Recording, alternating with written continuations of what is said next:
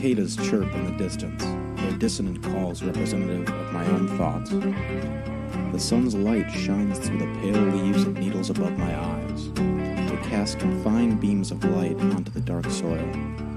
What I assume to be pollen rushes over the forest in a steady wind, creating a blanket of natural allergens. Some of the darker clouds contrast against the pale blue ocean of the sky.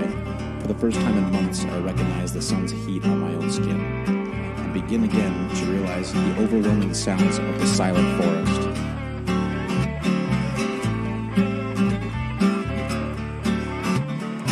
So silent, it becomes drastically apparent how full of life the trees are. What I believe to be true cyan momentarily shows itself after a short focus on the sun.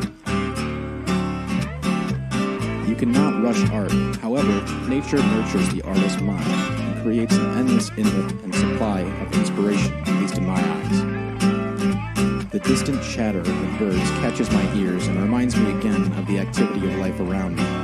I feel connected to the forest, like it branches out from each of my respective limbs to an endless array of life. The language of the universe is gravity, but the language of Earth is life.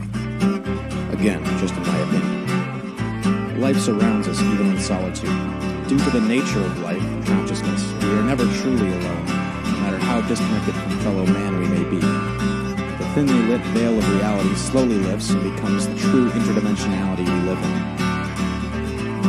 It becomes increasingly apparent that even in the forest, as I plunge my fingers into the soil that man has been here before and will be again, in a matter of time this forest may be turned into another part of our disastrous infrastructure of modern civilization. But I prefer to live now while there's still some left.